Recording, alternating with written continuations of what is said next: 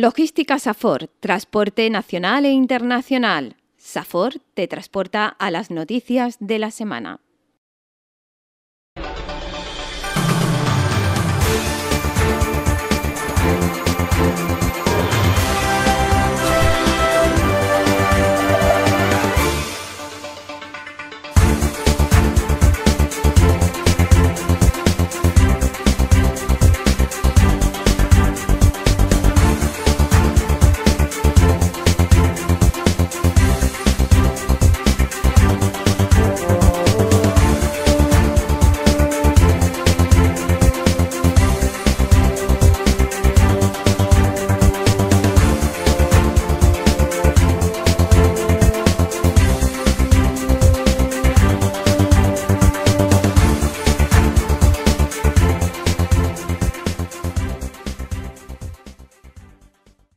Bienvenidos al repaso de la actualidad. Aquí en estas pantallas, como siempre una vez a la semana, resumimos lo más importante y lo primero que le vamos a contar es lo último casi que ha pasado, porque una buena parte del tráfico de la 92 se vio condicionada en el día de ayer por un accidente entre Aral y Paradas. El vuelco de parte de la carga de un camión que quedó atravesado en un carril de la autopista provocó importantes retenciones de tráfico. Ahí estuvieron nuestras cámaras apreciando precisamente el intenso trabajo para que todo volviese a la normalidad y de paso también el colapso enorme en la circulación que provocó este accidente.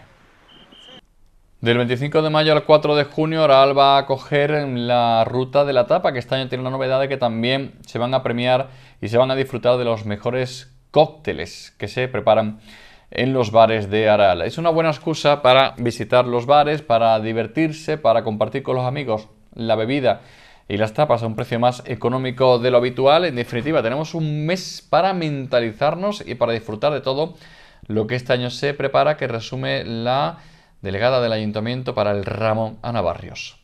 En vista de, la evolución de los últimos años de la Feria de la Tapa, el ver que poco a poco iba bajando la participación y el interés tanto por parte de los bares como por parte del público que, asistía.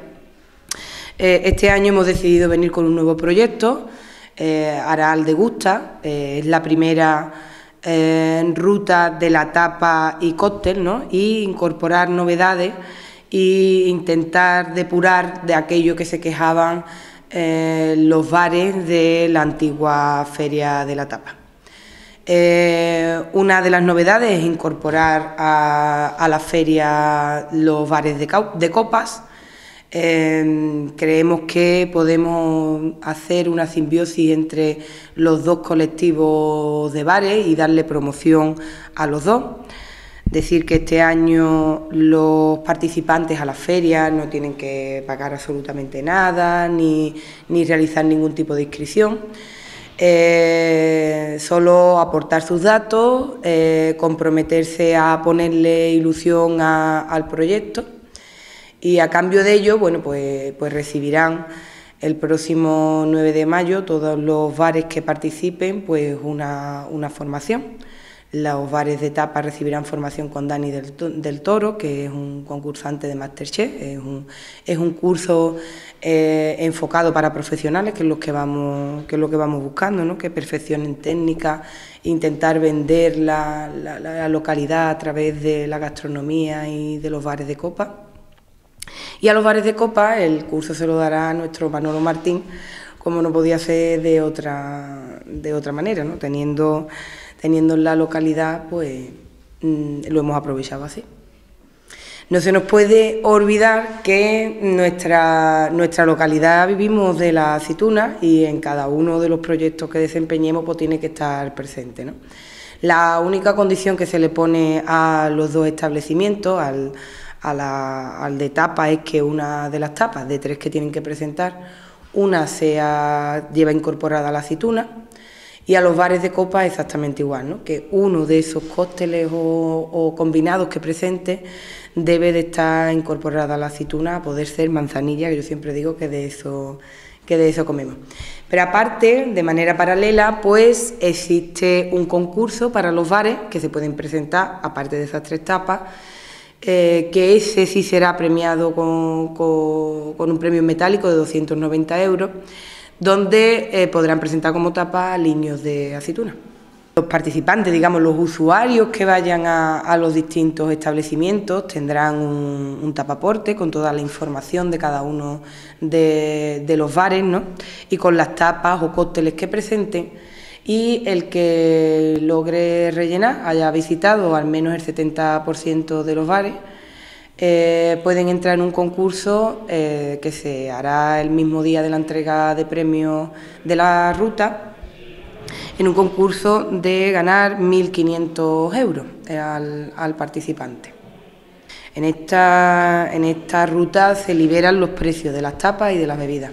Cada bar va a poder decidir cuál es el precio en el que vende su producto eh, y así lo que vamos es apostando por la calidad. Cuando le ponemos restricciones eh, económicas en las antiguas bases, hacía que no innovaran no buscaran productos, porque es que es verdad que es que perdían dinero con la tapa con la tapa de esa manera. De esta manera habrá bares que decidan poner la tapa a un euro, habrá bares que decidan a 1,25, ya eso va a ser la ley de la oferta y la demanda.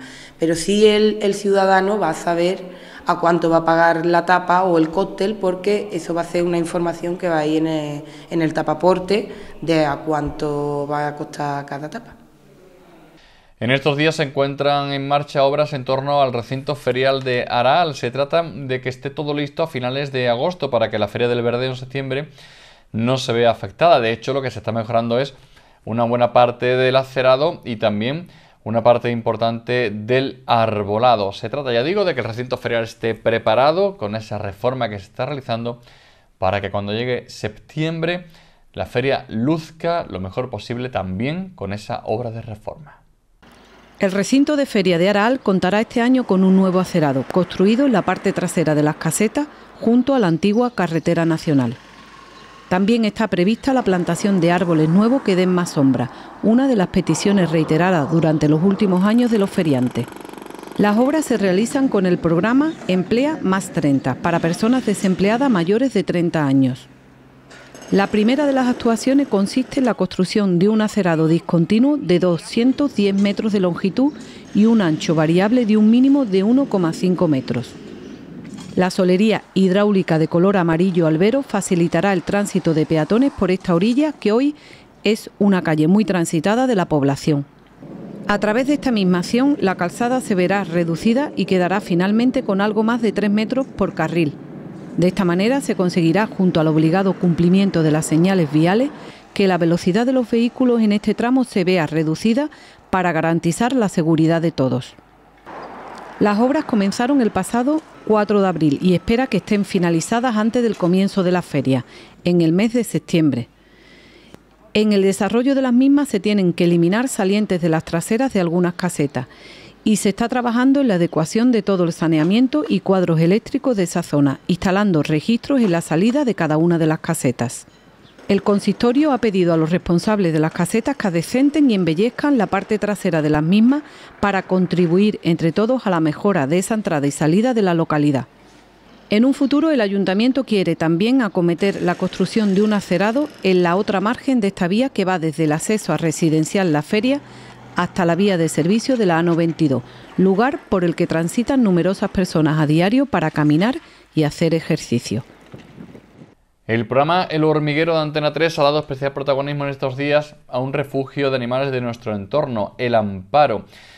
Un refugio que acudió, acudieron sus responsables para llevarles la historia de uno de sus perros, amputado, atropellado y que por cierto ha encontrado familia. El galés John Benjamin Tosak, ¿se acuerda de él? Fue jugador de la Real Sociedad, entrenador de la Real, entrenador del Real Madrid, entre otros equipos. Bueno, pues su pareja y él han adoptado a este perro. No se quedan ahí las buenas noticias, porque más de 400 personas se han contactado con el refugio para interesarse por los animales que custodian y que cuidan muchas veces por la actitud de algunas personas de forma irresponsable que los dejan allí y sobrecargan de trabajo y de gastos a las personas que trabajan en este refugio. Uno de los últimos animales que este refugio ha podido dar a una familia es bike, el diminutivo de bicicleta en inglés, adoptado precisamente por una familia británica. Craig y Jane, un matrimonio británico, ha recorrido 6.000 kilómetros desde el norte de Londres hasta Aral para adoptar a Bike, a este perro que ya tiene familia. Buenas noticias y una buena parte de eso gracias a los compañeros de Antena 3 del programa Hormiguero que difundieron la historia de este refugio. Y seguimos hablando del cuidado de los animales, porque la Asociación Rufapato de Marchena ha estado en Aral precisamente para hablar a los chicos de Lies Campiña de la necesidad de que se mentalicen de la adopción. Como dato, 3 de cada 10 animales que se adoptan se abandonan. Hay que tener mucho cuidado, no son juguetes los animales precisamente, y en eso incidían los responsables de la asociación en esta charla.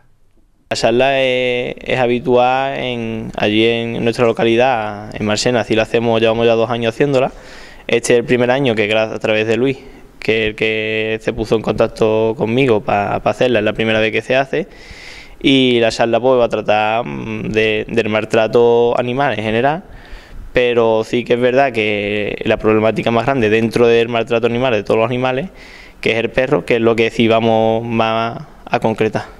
Siempre se notan los resultados, pero claro, como antes estaba hablando con Luis cuando empezamos a hablar que, eso se, va a notar a medio largo plazo, ¿no? que hasta que ese niño que hoy le damos la charla, que tenga sus 13, 14 años, no llegue a que se hace un adulto con 18 o 20 años, a partir de ahí no se van a notar los resultados. Pero sí que es verdad que ya la sociedad por sí misma sí que va cambiando poco a poco la mentalidad, pero eso son cosas que ayudan y aumenta que, que eso se, se, haga más rápido y que haya más cantidad de niños con la con, concienciándose de que, de que el maltrato eh, que, no, que no, no, sirve para no sirve para nada, ¿verdad? Que ahora lo, lo, lo comento en la charla que, que Andalucía somos ahora mismo y llevamos siendo la comunidad autónoma con más, más, más maltrato y más abandono de España, además que con una cantidad elevada, es decir, yo tengo ahí la cifra que de cada 10 perros,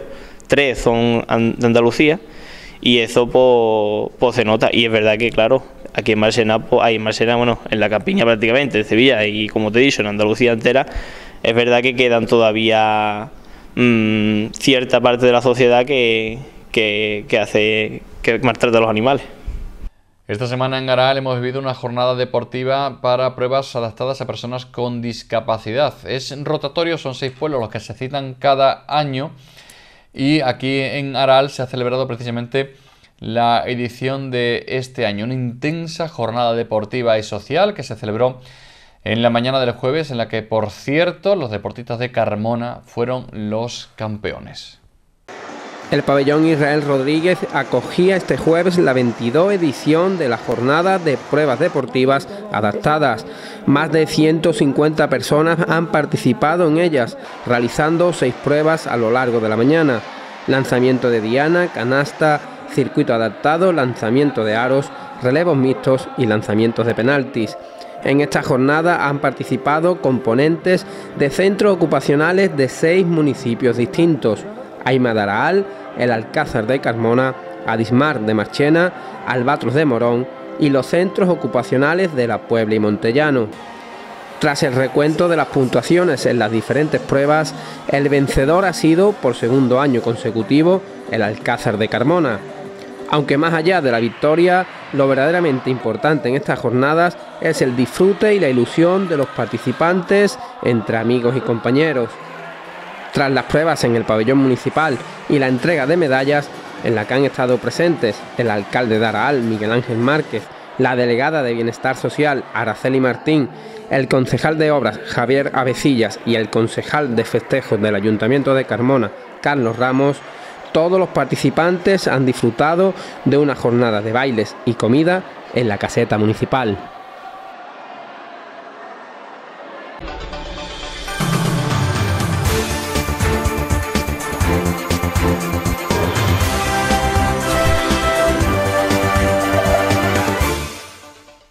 Cambiemos de asunto y vamos a hablar de salud y de una de las enfermedades o de las patologías, como queramos llamarlo, más extendidas del mundo, contra la que más se investiga y contra la que más se pelea, ya sea desde la sociedad civil o desde la médica. Hablamos de la diabetes y hablamos de este fin de semana porque en Écija se centraliza la atención eh, nacional por el Congreso Diabetes Cero.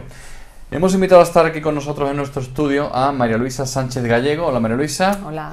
Y a Rafael García López. Hola Rafael. Hola, ¿qué tal? Que como ven en sus camisetas son miembros de la Asociación Diabetes ¿Es asociación? Asociación. Diabetes Cero. Próximamente Fundación. Bien, sois los organizadores, estáis currando este encuentro que en Écija este fin de semana tiene la atención nacional. He dicho atención nacional, no sé exagerar, pero sí, ¿no? Porque traéis al máximo nivel de todo, ¿no? Traemos, como decimos, los Messi. Los en, Messi. en la medicina. Traéis los cristianos por casualidad, Sí, ¿no? También. eh, sí, sí, en, también. en medicina Ujú. de España. Vais a traer, eh, son 6, 7 ponencias de máximo nivel. ¿Cuántas son?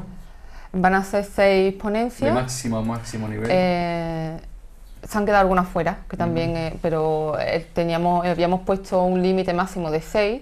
Se han quedado algunas que eran muy buenas también fuera de nuestra criba, pero hemos apostado por las seis que creíamos que eran más sólidas y estaban las investigaciones un pelín más avanzadas. Bien. Yo hubiese en principio que explicarais mm, lo más llano posible cómo se trae a Écija, un rinconcito de la provincia de Sevilla, o de Córdoba casi, porque estamos ahí hablando de, de esa esquinita entre Sevilla y Córdoba, a lo mejor de España. O sea, esto es un curro, porque vosotros sois una asociación de gente que os dedicáis a mil cosas, aparte trabajáis en la asociación, y cómo conseguís traer de Bernat sobre para arriba. Pues en realidad pensamos que, que los científicos estaban esperando que algo así surgiera en España, porque eh, nunca un colectivo de pacientes con diabetes tipo 1 había, había solicitado información al propio laboratorio donde se investiga. Entonces ha sido algo muy novedoso, a ellos les ha ilusionado, ellos han visto que, que nos han puesto cara, porque ellos están en su, labora- en su laboratorio trabajando y no le ponen cara para quién trabajan. Y, y la verdad es que ha sido fácil, ha sido invitarlos y ellos de seguida eh, han, han presentado sus proyectos, han presentado sus investigaciones y están encantados, vienen encantados. Vosotros dos estáis en la asociación que ya ha funcionado cuánto tiempo? Yo llevaba tres añitos. llevamos. Tres añitos. ¿Y, y por qué se empieza esto? ¿Qué motivación tenéis cada uno? Empezamos- No, no, mm, vosotros dos estáis aquí personificando a los demás, ¿no? Pero vosotros, por ejemplo, Rafa, María Luisa. Bueno, nosotros empezamos buscando, bueno, eh, lo primero fue el debut de nuestro crío, que fue un jarro de agua fría. La verdad que ve- conocíamos la diabetes de lejos, te- teníamos unas nociones así medio claras, pero sí es verdad, empezamos a buscar información, eh, asociaciones que estuvieran trabajando eh, este tema, veíamos que no había mucho, mucho, vamos a decir, unión entre las asociaciones, eh, y sobre todo nos empezamos a interesar sobre la investigación. Entonces contactamos con, con otra familia de ECIA, que fue la que empezó eh, vendiendo pulseras y pequeños artículos para recaudar, eh, para financiar la investigación. Y em- nos juntamos con ellos y empezamos a hacer eventos y, y sobre todo una idea muy clara, que era conocer la investigación real que se estaba elaborando en España, conocerla in situ y nos trasladamos a, los diferentes puntos de España donde están estas investigaciones que este sábado vamos a, a tener en ECIA. Cuando hablé de vuestro crío, vuestro crío en común, ¿no? Sí. ¿Qué edad tiene el mozo? Pues tiene 14 añitos, 14 añitos ¿Y tiene ya. debutó con cuánto? Con 10. Con 10 años. O sea, llevas cuatro años de pelea que El 1 de julio de 2013. estaréis harto de esa frase de eso se llama muy bien, eso no pasa nada, que No, ejercicio. bien. Esa frase que todos los padres de niños diabéticos escuchamos 200 millones de veces, ¿no?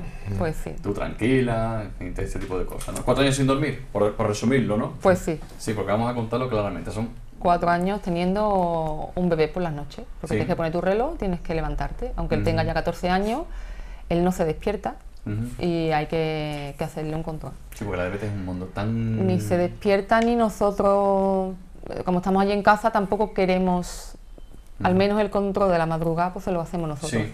No queremos molestarlo. Es muy complicado este tema. la- los padres que nos estén escuchando y que tengan hijos diabéticos están entendiendo perfectamente a Rafa y, y María Luisa porque hablamos de un, un galimatías absoluto que muchas veces para nada.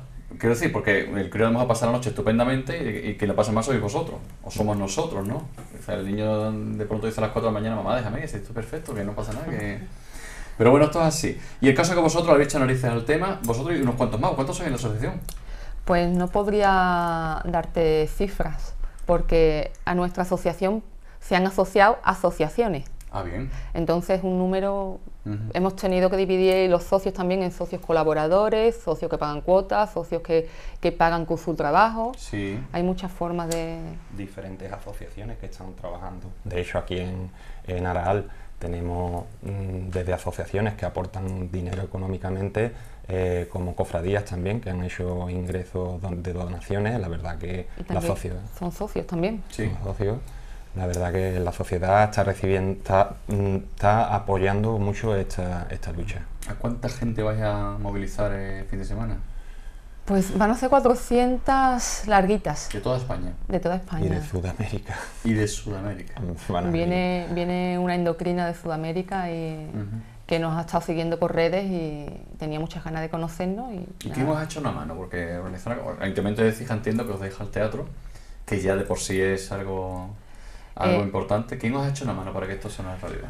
Bueno, pues nosotros, como comenté antes, empezamos a movernos y teníamos un poco el panorama que no había, como ha dicho María Luisa, las asociaciones, no es que no haya habido interés, sí ha habido interés, pero yo pensamos que mm, esa parte de investigación ha estado un poco ahí aparcada eh, las asociaciones, que sí es verdad, eh, eh, lo agradecemos porque nosotros, lo, ha debutado nuestro hijo ahora, pero han hecho un trabajo muy bueno del tema de los medios, ¿no? De insulina, mejorar todo esto, ha estado peleando las asociaciones, pero es verdad que la investigación está un poquito ahí eh, apartada. Eh, nosotros empezamos a, buscar y estuvimos, contactamos con ciertos científicos de gran prestigio, que son los que han hecho que esto sea posible, aparte de nuestro trabajo, que hay que agradecerlo todo, entre ellos don Manuel Aguilar, que es endocrino del, Hospital eh, Puerta del Mar de Cádiz, don Ramón Gómez, que también es, un, eh, es uno de los mejores eh, profesionales que hay, científicos, y está llevando a cabo o dirigiendo ciertas investigaciones en Barcelona, y el doctor Luis Castaño, que, desde el País Vasco también nos, nos ha aportado eh, bastante al, proyecto. Ellos tres conforman el comité científico, que son los que nos asesoran y son los que han movido también los hilos desde las altas esferas para que para que esto sea posible. Os tenemos que dar la enhorabuena por muchas cosas, entre otras cosas por las redes sociales que estáis moviendo con un, nivelazo. ¿eh? ¿Quién os la lleva las redes sociales, por curiosidad? Pues la lleva... Oscar Briñas. Oscar, el Jedi azucarado. El Jedi. El Jedi azucarado. Y es un bloguero, que tiene muchísimos seguidores, eh, tiene diabetes también desde que era un niño. Eh, es periodista y se unió a Diabetes Cero y él aporta su trabajo a Diabetes Cero. Pues no se paga con dinero un trabajo así, ¿eh? Un trabajo muy, muy, muy profesional. Porque entiendo que vosotros estáis embaucando a todo el mundo, ¿no? Nosotros estamos, intentamos abarcar todo lo que podemos. Sí, es verdad, como dice Rafa, que sin el apoyo real de estos tres científicos, que son tres mm. eminencias a nivel, eh, ya no nacional, a nivel mundial, porque son, los tres han estado trabajando fuera de España muchos años, y, ellos nos han facilitado mucho, nos han allanado mucho el camino. De hecho, vamos, eran las primeras veces que las asociaciones estaban presentes en congresos importantes como el que hubo en, Bilbao, que fue el Congreso Nacional de, endocrinología. y también de diabetes pediátrica, el Congreso Mundial en Valencia, que fue este año, y estuvimos presentes y es la primera vez que se da ese caso. Entonces, eh, también es verdad que esto nos da credibilidad en el eh, que es lo que buscamos. Eh, estamos viendo que hoy por hoy, en el día a día, nos encontramos con gente que están abusando de la confianza de la sociedad y están recaudando dinero para... para no, solo, no solo con la diabetes. En no, sí, la enfermedad. En hemos tenido un caso creo con leucemia en León que... Entonces, nosotros lo que buscamos, desde luego, es que el último céntimo que recaudemos, que cuesta muchísimo trabajo, vaya destinado ahí y, sobre todo, con el apoyo de estos estos científicos. Bien, y si te parece, María Luisa, las tienes delante de las ponencias, no sé si también Rafa, pues sin entrar en muchas honduras científicas, porque además entiendo que en el Congreso además lo van a explicar con palabras muy llanas cada congresista. ¿Cuáles son las seis ponencias en concreto que...? Pues tenemos de Marta Vives, que viene, viene de Badalona, que trata el sistema inmunológico, eh, con nanovacuna. Es un, proyecto muy novedoso y que nos... Sí, he, tenido la curiosidad de leerlo para intentar resumirlo. Es una pasada. Sí.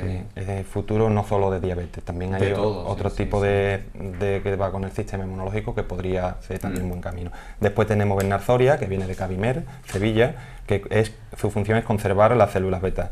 Eh, doctora Montserrat Nacher, que es generación de células beta, viene del Instituto de Investigación Biomédica de Belviche, doctora Isorce Zantín, frenar la insulitis en diabetes tipo 1 del Hospital Biocruces en el País Vasco, doctora Rosa Gasa, generar células beta en la piel, que es otro sistema también novedoso, porque nos han dicho que desde la piel también pueden generar células que no tiene que ser en el páncreas, eh, viene de IDIBAD en Barcelona.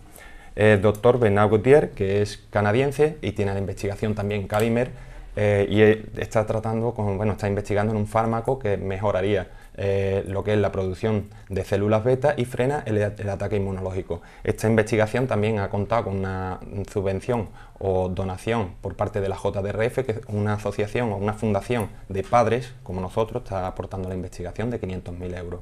Así que son las seis mejores investigaciones que tenemos en el panorama nacional. Aunque nosotros hemos pensado comité, científico, hemos pensado que, eran las más las que más iban encaminadas hacia nuestras inquietudes, que es la cura biomédica. Lo que pasa es que si tenéis este nivel en el primer congreso, para el segundo que vais a ya. Listo muy alto. llena Fibes, ¿no? sí, sí. Mm, nosotros, la libre puede saltar en cualquier sitio y ojalá y no haya que hacer un segundo congreso. Pero si realmente pensamos o estamos, nos asesoran y estamos seguros de que estas investigaciones que se elijan aquí eh, son viables, no tendremos por qué hacer un segundo congreso, podríamos seguir apostando por las mismas. Ahora mismo la, cantidad económica es simbólica, son 25.000 euros a cada una. Eh, eso en investigación es una miseria. Una miseria, una Pero sí es cierto que hace visible a diabetes cero, tanto a nivel eh, dentro de los pacientes como a nivel médico. a, nuestro congreso eh, asistirán médicos, endocrinos, enfermeros de, hospitales de, Andalucía y de fuera de Andalucía, por lo que esperamos que tenga una gran repercusión. Puede ir, eh, Rafa, puede ir a Luisa, cualquier persona la madre que nos está viendo ahora, el padre puede ir a Teatro de Sí, de hecho todavía no creo que están, que están las plazas abiertas. Tenemos algunas plazas todavía que para que cualquiera pueda acudir y podría, vamos, llamando al teléfono 955 905000 eh, puede perfectamente de, asistir a nuestro congreso. De hecho, hemos, lo que hemos hecho es que sea lo más público posible, porque lo que queremos es eso, de transmitir eh, estas investigaciones a todos los afectados o interesados que, que, quieran saber el panorama del tema de investigación. Llamando a ese teléfono, ¿no? Sí nos lo están poniendo por aquí debajo en este mismo momento, el teléfono para que acudan a, la, a ese congreso, para que reserven y acudan. El teatro va a estar lleno para que eh, guarden el, el, sitio. Hay muchísimas cosas de las que hablar, si os parece, mm, hablamos ya la semana que viene, la otra. Desgraciadamente y afortunadamente hay mucho que hablar de este tema y seguiremos muy pendientes. Eh, Marolisa, Rafa, yo lo último que quería ya, si os parece, si queréis, uno de los dos o los dos, eh, que os dirijáis al padre o la madre que está viéndonos, o al hermano mayor, que está viendo ahora el programa y que su hijo ha empezado ahora con diabetes, o lleva un año, o lleva dos, o tiene un hermano diabético, está preocupado porque mm, herede, entre comillas, porque nadie sabe por qué es la diabetes, nadie sabe si se hereda. Nos dicen que los niños no estén gordos y es para nada. O sea, hay, mil, hay mil teorías y mil historias, ¿no? ¿Qué le diríais? ¿Qué consejo dais vosotros que sois doctorado en este tema? Pues yo le diría que, que adelante, que para atrás ni para coger impulso, y el lema de nuestra camiseta, que yo no nací para rendirme. a, ningún padre que tiene un hijo, eh, cuando tú lo tienes, cuando tú eh, estás embarazada o estás, tú jamás piensas que, te va a venir con un problema. un resfriado, nunca pensamos. Nunca pensamos que venga con algo así. Pero bueno, viene, pues nada, para adelante y a luchar y a pelear todos los días. Pues yo decir que, bueno, cuando le toca a uno esta papeleta, nada más tiene que coger y luchar y tirar para adelante con ella. Y, nada, aquí estamos, diabetes cero, lo tenemos muy claro, que lo que queremos es derrotar esta enfermedad, que aunque parezca eh, que no ocurre nada, pues a la larga puede traer, consecuencias muy, muy graves.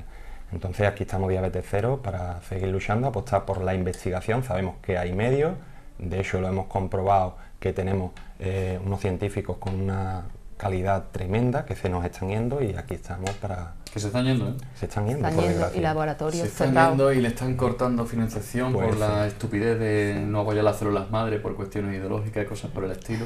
¿Puedo dar un, pequeño dato? Sí, pero rápidamente digo una cosa. Lo das ahora, pero es que no quiero que se me olvide una cosa, que es el hecho de que haya hermandades, cofradías, católicas que os estén apoyando. Porque desde el ultracatolicismo y desde las políticas exageradas de la derecha se ha cortado financiación a las células madre. Mm. Eh, y a mí me parece eso. Es más, te voy a decir, esto lo, cuento como anécdota. La gente que me conoce, y lo habrán deducido, yo tengo una hija diabética, una berraca que tiene 20 años ya, y que em, justo la semana siguiente de hacer la comunión, era muy religiosa, justo la semana siguiente de hacer la comunión, por alguna razón, mm, estaba conmigo, yo siempre escribiendo, trabajando con ella, y vio en la tele algo que ella relacionó rápidamente con la derecha, la iglesia, y no a las células madre y dijo, dejo de ir a la iglesia porque esta gente no quiere que yo me cure. Eh, es algo que afortunadamente, como estamos diciendo, lo quiero destacar y ponerlo en negrita además, tenéis hermandades que os están ayudando contra mucha gente. Discúlpame la acotación, pero me parece muy interesante. pues la verdad que como habrá dentro del catolicismo, habrá personas que sean más abiertas y tengan la mente más, mm. más clara. Sí, sí, sí. Dime. Yo decir que España es el, el último país de la Comunidad Europea que invierte en investigación. estamos por detrás, mm. estamos por detrás de Grecia mm. y de Portugal y, es una pena. Mm. Es una verdadera pena, una vergüenza y, algún día tenemos. Es verdad que la sociedad civil, vosotros estáis intentando Tenemos que demandar, tenemos que demandar. Pero que se corte financiación para esto es algo tremendo. Yo, vamos, con respecto al tema de las células madres, simplemente no veo el por qué eh, se tiene que cortar la investigación en este, campo por motivos. Yo creo que las personas están por delante mm. de, todo, siempre y cuando la ética y, la razón, eh, sobre todo son los científicos, eh, son los que deben de dirigir las líneas a seguir para, para, vamos a decir, para que el bien para la sociedad esté lo antes posible. Y en ello estamos, en En ello estamos, en ello estamos. Cuando nos juntamos siempre padres diabéticos siempre hablamos lo mismo. ¿Tú cuántas veces has puesto la inyección naranja? ¿A que, lo, lo han preguntado alguna vez a mí? Adelante. Siempre, la, perdón, el glucagón. El glucagón. Todavía nosotros, no quiero ni decirlo. Nah, ni lo nombres. Por suerte todavía no. Ni lo nombres, ojalá. Mi hija dos veces solamente en 15 años, con lo cual estamos en ese aspecto muy contentos. Y es verdad que hay ciencia para eso, ¿no? Para que cuando hay una bajada excesiva de, de la glucemia, la inyección naranja lo soluciona, que es como magia. Pues que vaya muy bien. ¿Se llama Rafa Mozo? Se llama Juan Diego. Juan Diego, que vaya muy bien Juan Diego, que tiene 14 años ya. Y ojalá Juan Diego, eh, su hijo, no tenga diabetes porque ha desaparecido. Directamente porque ha desaparecido. Ojalá lo sea así. Lo mismo decimos. Porque hablamos de un millón de andaluces. Eh, hablamos, yo no tengo datos de mm. adultos, pero niños, eh, contamos ya con 600 niños menores de 8 años. ¿600? Menores de 8 ¿Pero años. ¿en dónde? ¿En qué? En Andalucía, solo en Andalucía menores de 8 años. Sí. Y mucha gente que tenemos más de 40 años, a lo mejor los somos diabéticos no lo sabemos. 30.000 eh, 30 niños en toda España, entre 14, o sea, menores de 14 años. Y estamos hablando de una cifra, vamos, porque esto es datos que, que tenemos actuales, pero eh, constantemente nos están llegando y además para te poner los pelos de punta, como escarpia, de, mm, vamos a decir, pueblos cercanos a Aral, como estamos hablando de Marchena, que estuve el lunes, estuve allí con la Asociación de Marchena, en Écija, en Morón, eh, aquí mismo estamos contando con debut cada poco tiempo, cada vez mm. son más los debuts. Estamos viendo de que las enfermedades autoinmunes están creciendo y como la diabetes tipo 1, una enfermedad autoinmune, pues está creciendo a, ritmo a pasos mm. Pues somos capaces de frenarla entre todos, desde abajo, de abajo, todo. Muchísima suerte para eh, Diabetes Cero. Ojalá no haya un segundo congreso en, en todos los sentidos. Ojalá. Y, enhorabuena, que tiene narices por lo que hacéis. ¿eh? Muchas gracias. Porque vosotros sois, ¿a qué, a qué os dedicáis vosotros dos, aparte de esto? Yo ahora soy entrenadora. ¿De? Soy entrenadora de, atletismo. De atletismo. Sí. Y yo, vamos, yo trabajo aquí en una empresa de aderezo de aceitunas en mantenimiento. O sea, que aparte de todo lo que hacéis en vuestra vida, ¿Cuál es tu especialidad atlética, Marisa? Pues ahora tenemos una, estamos levantando un grupito muy bueno de marcha. ¿De marcha atlética? Como mi Laura García Caro. ¿Conoces a Laura? Sí, sí, sí. Pues la vimos en, en Extremadura hace un par de semanas. ¿otra? Paisana mía y una auténtica fiera, la campeona junior de Europa y se quedó a segunditos de ir a Río de Janeiro, una auténtica fiera, Laura García Caro y Jordi Jopar, este es de mi época, tú no te acuerdas de Jordi. Sí, sí, me acuerdo. ¿Te acuerdas de Un poquito de la mía. Qué mayor eres, Muchas gracias a los dos, enhorabuena. Venga, pues muchas, muchas gracias. El deporte, como hemos dicho hace un momentito, lo hemos hilado en este punto final, no sabemos que eh, María precisamente es una de sus especialidades, pero mm, es muy importante para el tema de la de la, de control de la diabetes, de la, sobre todo de la subida de azúcar y demás. Bueno, eso es, es muy amplio explicarlo, pero digo el deporte porque ya tenemos aquí a Alejandro Solano, que trae precisamente el bloque de información deportiva de esta semana.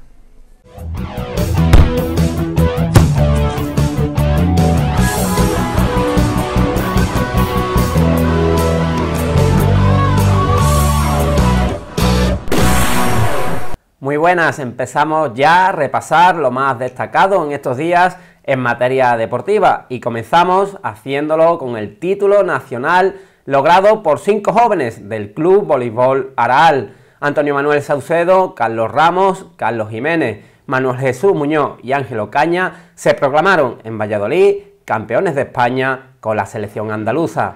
Los andaluces vencieron en la final por 13 a 2 a Islas Baleares cerrando el partido, como estamos viendo, con un punto del aralense Antonio Manuel Saucedo. El Club Voleibol Araal es el conjunto que más jugadores aporta a este combinado andaluz, lo que demuestra el buen trabajo que se está realizando en el Club del Ruedo. Como último apunte, además del oro en cadete masculino, los otros tres equipos de la selección andaluza también han subido al podium. El infantil masculino logró la plata, el infantil femenino también la medalla de plata y el cadete femenino se llevó el bronce.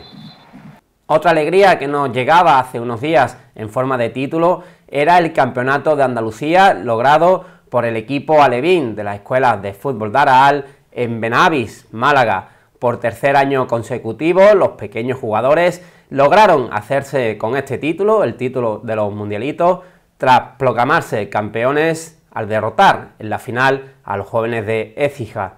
El otro equipo clasificado para este torneo, el equipo Benjamín, no pudo meterse en la final, aunque sin dudas también hicieron un buen papel en la localidad malagueña. El alcalde de la localidad, Miguel Ángel Márquez, y el delegado de deportes, Antonio Luis Gómez, se desplazaron hasta Málaga para apoyar a la expedición aralense, la cual quiso mandar un mensaje de fair play exhibiendo una pancarta para denunciar la violencia en el fútbol. Y el que aún no ha logrado el título, pero está muy cerca de hacerlo, es el arelense Manolo Jiménez. Como ya le contábamos la semana pasada, el técnico local estaba a un pasito de meterse en la final de la Copa de Grecia, éxito que consiguió este mismo miércoles. El AEK perdió en la vuelta por 0-1 ante Olympiacos, pero el 1-2 de la ida permite a los atenienses luchar por el título de campeón.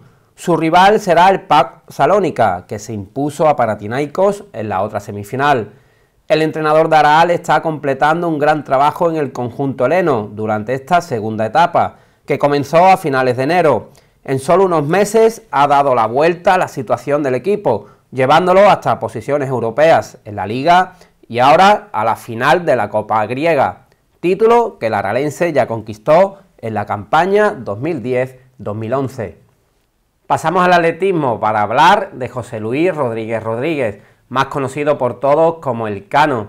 El atleta aralense del Club Atletismo Parada tiene ante sí este mismo fin de semana un nuevo reto, compitiendo en el sexto Campeonato de Europa de Carreras de Montaña, una prueba que se disputa en la localidad catalana de Moncada y Reixac. El veterano corredor llega con muchas ganas y muy contento después de haber sido nombrado por el Consejo Sectorial de Deportes de Parada como deportista del año 2016 en esta localidad. Este reconocimiento y entrega de trofeo tendrá lugar el próximo 14 de mayo en la caseta municipal. La distancia que tendrá que afrontar será de 13 kilómetros y medio por montaña, una distancia que según él mismo piensa se le queda corta. No obstante, lo dará todo, intentará hacer un buen papel ante los mejores del continente. Nos citamos con él para hablar de estas últimas novedades en su carrera deportiva. Bueno, este fin de semana voy a participar en el Campeonato de Europa de Carreras de Montaña. Para mí es una nueva prueba, ya que nunca he corrido ningún campeonato federado de montaña, he corrido un campeonato pero en asfalto. Entonces para mí es un reto nuevo y llevo mucha ilusión porque es un reto nuevo. Lo que pasa es que en contra mía va a la distancia, ¿no? Porque la distancia es una distancia para mí corta, son 13 kilómetros y medio, cuando yo estoy acostumbrado mucha, mucha más distancia, ¿no? Pero bueno, este último mes estamos entrenando para con un poco más de ritmo y vamos con mucha ilusión. Lo que pasa es que hemos tenido poco tiempo, ¿no? Porque este campeonato hace meses que lo sé que se iba a organizar, lo que no sabíamos seguro cuál era la distancia, ¿no? Entonces, cuando no hemos enterado bien cuál era la distancia, me quedó muchas dudas si participaba o no. Pero dentro de mis cálculos, yo le dije a mi entrenador que José Ramón Parrilla, de aquí de Ará, paisano mío, de que quería ir. Teníamos un mes por delante para entrenar un poco más lo que es la velocidad, ¿no? Entonces este mes último estado entrenando él, a un poco hemos cambiado un poco los ritmos y la velocidad, porque no es igual hacer prueba como estoy acostumbrado de 100 kilómetros, hacer una prueba de 13 kilómetros y medio. Entonces, claro, yo soy más de gasoil, de un ritmo más lento, no estar mucho tiempo corriendo. Y esta prueba exige más velocidad. Entonces no sé cómo voy a estar en la prueba, la altura, si voy a estar a la altura de los corredores, no sé lo que voy a encontrar allí. O sea, para mí esto es nuevo, pero es un campeonato de Europa, tengo hechos del mundo, tengo hechos de España, tengo hechos de Andalucía, me faltaba el de Europa y lo voy a completar. Y después el resultado que sea el que Dios quiera. Yo el objetivo que me marco en principio, en principio sería, un buen objetivo sería quedar entre los 10 primeros. Entonces a mí sería un buen, un buen resultado, ¿no? Todo lo que sea menos mejor, ¿no? Y si es más tampoco pasa nada. Está allí ya para mí es un premio, ¿no? Pero mi objetivo está marcar los 10 primeros. Para mí el problema número uno de organizar una prueba, sobre todo es el económico, ¿no? Porque yo soy un trabajador, soy un jornalero del campo, ¿no? Dependo de un sueldo del campo, entonces yo no me puedo permitir el lujo de muchas competiciones. Entonces, claro, cuando hay una competición a nivel europeo, a nivel mundial, a nivel de España, pues me intereso en querer y, ya la cabeza empieza a darle vuelta dónde voy a conseguir dinero. Ese es el problema. El problema de entrenar y hacer la prueba para mí no es problema. El problema es dónde voy a conseguir el dinero para yo a los gastos. Entonces, claro, empiezo a darle vuelta a la cabeza y por aquí, por allí, y entonces pues empiezo a preguntar y uno a otro, empresa, ayuntamiento, y entonces, claro, entre uno y otro se puede reunir algo, aunque yo tenga que poner un poco, pero ya no es lo mismo, ¿no? Y esta vez, pues, me han querido, se han ayudarme empresas de parada y también una empresa de Araal, que son Pescadería Diego Duque de Araal, Cristalería Arsanegui de Parada, y el gimnasio Fitness de Parada, de Manolito. Entre los tres han aportado gran parte de los gastos, no el 100%, pero sí gran parte, y lo otro lo voy a tener que poner yo. Viste que estuve hablando en el ayuntamiento de Parada, me reuní allí con un concejal, el cual le pedí ayuda y por lo visto no, no, no vio el bien oportuno, no pudieron ayudarme y me dieron que fuera a Saladito, ¿no? Entonces he tenido que buscar un saladito porque ya había estado otro año por otro sitio. El mayor obstáculo que me encontré en Barcelona es que yo no tenga la, rapidez que tengo que tener. A mí los contrincantes me da igual los que haya de contrimalla y mejores mejor. A mí me gusta estar cuando están los mejores, ¿no? Ya el simple hecho de estar allí es un premio, ¿no? Correr con los mejores del mundo, de Europa, no se corre todos los días. Entonces, para mí, me da igual quién esté. Yo no miro quién está, yo miro cómo estoy yo, ¿no? Yo estoy ahora mismo muy bien, pero vuelvo a decir que la distancia no es la mía. Ya me conoce mucha gente y saben que yo soy de larga distancia. Pero esto para mí es nuevo y nunca se sabe, lo que, los resultados nunca se sabe. Yo con mucha ilusión me pueden ganar en que corran más rápido que yo, me pueden ganar en que estén más descansados que yo, pero en gana y en ilusión seguro que no. Yo siempre había soñado en que un día, estos tantos años como llevo luchando y en esto del atletismo, ¿no? Y cómo empecé, entonces siempre mi ilusión siempre ha sido de que se me reconociera lo que yo estaba haciendo, que me se reconociera, pero que me lo reconociera el pueblo, no el ayuntamiento en concreto o una persona en concreto, que me lo reconociera el pueblo, ¿no? Y esta vez ha sido una votación, se han reunido todos los clubes, es la primera vez que se ha hecho, y todos los clubes deportivos han, han presentado X de deportistas, y entre ellos estaba yo, ¿no? Con la fortuna de que los clubes, por lo visto, ha tenido la fortuna de ser el elegido deportista del año 2016. Y parece ser de que en Parada no, no, lo ha sentado bien, al seno del ayuntamiento no lo ha sentado bien porque no hacen mención ni en el Facebook ni en ningún lado, ¿no? Pero bueno, yo estoy contento y yo, unos son del Madrid y otros son del Betis, yo llevo la camiseta del atletismo Parada con mucho orgullo. No sé si el objetivo o ellos esperaban otro ganador que no hacen mención a mí, a lo que yo he hecho, ¿no? De 23 años de lucha, por lo visto, no ha caído bien. Eso es una cosa que me gusta que me gusta contarlo, ¿no? Porque a mí no me avergüenza el pasado, ni el, ni el presente ni el futuro. Yo de lo que he hecho, hecho está, ¿no? Lo que sí no volvería a hacerlo. Yo empecé a correr porque estaba metido en el mundo del alcohol, de la noche y de los vicios. Entonces era una vida problemáticas, el alcohol también me daba un poco de violencia, me ponía violento, y entonces una cosa que yo no sabía dominarla, cuando empezaba a beber tenía que emborracharme y estaba varios días por ahí, perdido, ¿no? Teniendo problemas con gente, con gente del pueblo, teniendo problemas con la autoridad, y eso a mí no me avergüenza contarlo, lo que sí me estoy muy orgulloso de, de haber cambiado, ¿no? Que mi familia y haber sido uno de los criticados o más criticados con razones del pueblo, tanto Nará como el Parada, y ahora ser uno de los más bendecidos del pueblo de Ará y de Parada, ¿no? de los más queridos. ¿no? Entonces, esto que ha venido a ser deportista del año 2016 era una de las ilusiones que yo tenía en mi vida, ¿no? y se ha cumplido su realidad. Y yo lo que quiero decir es que nadie está curado de ninguna adicción, nadie. Yo le temo a recaer. Y yo corro no por ganar medallas, no por ganar trofeo. Yo corro por estar el día a día luchando contra el alcohol, porque el que tiene una adicción nunca está curado. Entonces no se puede bajar la guardia, ¿no? Y yo me tengo que motivar con pruebas, con pruebas largas para estar motivado, porque eso es una cosa que siempre la lleva uno en la mente. Y hay que intentar de vencerle día a día. Y mi día a día es luchar y echarle el pulso al alcohol y a la vida. Y yo quiero darle las gracias, ¿no? Yo quiero recargar de que yo soy Darán, ¿no? Y estoy muy orgulloso de haber nacido en Aral, siempre seré de Aral, ¿no? Aunque me han parado por circunstancias de la vida. Y quiero dar las gracias tanto a Alejandro como a Ion y a, y ¿no? Por haberme brindado la oportunidad de expresarme ante unas cámaras, ¿no? Ya que por lo visto en otros sitios no me la están brindando. Y eso pues para mí es un orgullo ¿no? que el pueblo de Aral se, haya interesado y en, y en mencionar mis méritos y mencionar mi carrera y que haya sido deportista del año y que lo estén mencionando aquí en Aral y recargándolo. Revistas deportivas como el Estadio Deportivo, revistas de Sevilla, Mundo Deportivo, y lo están recargando gente de que no tienen que recargarlo tanto. Y en el sitio que de verdad se tiene que darle el bombo no se le, no se le está dando nada, se está pasando desapercibido. Entonces estoy muy orgulloso y muy contento y le doy las gracias a Aral y al pueblo de Aral. Y esta carrera va a dedicar al pueblo de Aral. Hablamos ahora de los deportes en equipo de Aral y nos centramos en aquellos que a estas alturas aún se están jugando algo, como es el caso del Club Deportivo Aral Balompié, que todavía tiene opciones de ascenso, aunque es verdad que estas se han complicado mucho tras la derrota el pasado fin de semana en el derby de la Campiña frente al Paradas.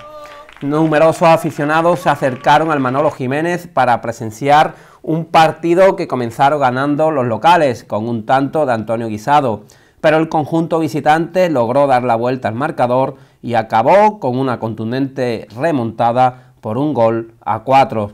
El tridente atacante del Paradas dio una vez más muestra de su calidad y de su olfato goleador, y destrozaron a los de Viviano Mateos. Isco, Javi González y Ezequiel con dos tantos hicieron que los tres puntos se fuesen para paradas. Ahora, tras esta derrota, los de Viviano Mateos se quedan cuartos en la tabla a nueve puntos del ascenso, cuando faltan cuatro jornadas para el final del campeonato. Y el otro derby del pasado fin de semana acabó en tablas. Ambiguo Aral, que no se jugaba nada, y Polígono Norte, que aún mantiene la lucha por la permanencia, empataron a siete goles en un apasionante partido. Los dos equipos aralenses ofrecieron un gran espectáculo en la gran fiesta del fútbol sala de Araal. Esta vez parecía que iba a llevarse el partido por primera vez el Araal Fútbol Sala, que se colocó con un contundente 2 a 6 al comienzo de la segunda mitad, pero los del Polígono Norte pusieron portero delantero y pudieron conseguir la igualada. Tras este empate, los de Raúl Maldonado tendrán que ganar a su eminencia en la última jornada para certificar la permanencia definitivamente. En caso de perder, tendrían que esperar la derrota o el empate o de Cepo o de Círculo Mercantil e Industrial. Este partido decisivo será este sábado a las 6 de la tarde. Acabamos ya con un apunte de baloncesto. Finalizada la fase de ascenso a primera provincial, el Ayón Bascaral no pudo conseguir el ascenso directo al acabar en cuarta posición. Los de Raúl Gamboa lograron ganar claramente en Herrera, pero dependía de resultados de terceros que finalmente no se dieron. Ahora los blanquiazules pasan a jugar unos playoffs para luchar por la tercera y última plaza de ascenso. Se enfrentarán a Dental 32 Fisiolora de Lora del Río. En caso de ganar esta eliminatoria, pasarían a una Final Four de cuatro equipos que lucharían entre sí por esta última plaza. En cuanto al deporte, esto ha sido todo por hoy. Nosotros volvemos la próxima semana con más información y actualidad de nuestros equipos y deportistas.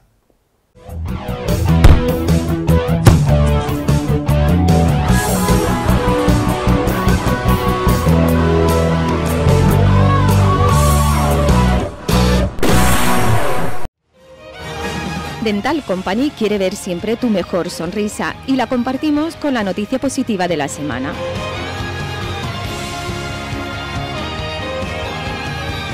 Dental Company, calle Feria 5, Araal.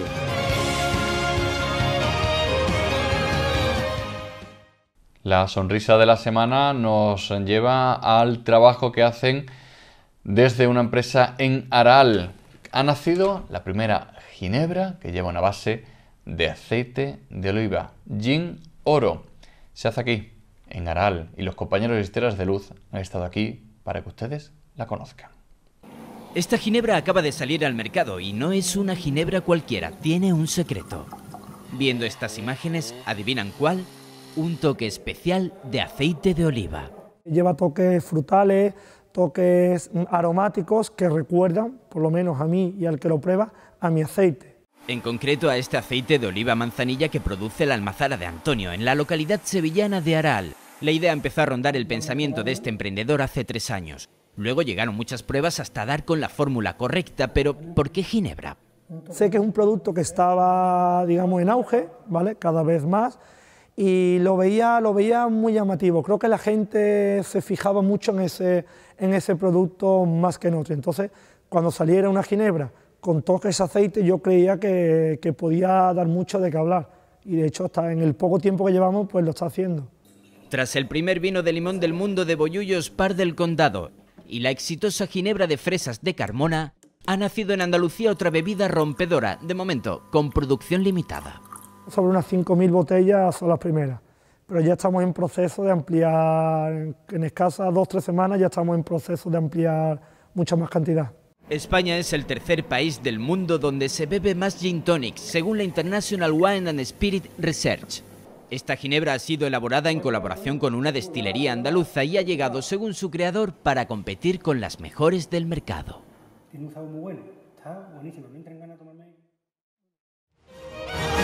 Dental Company quiere ver siempre tu mejor sonrisa y la compartimos con la noticia positiva de la semana.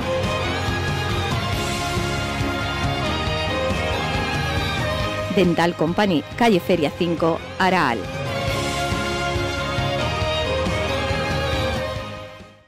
Con esto les dejamos, eh, se quedan con el resto de nuestra programación, regresamos la próxima semana con más noticias. Hasta entonces.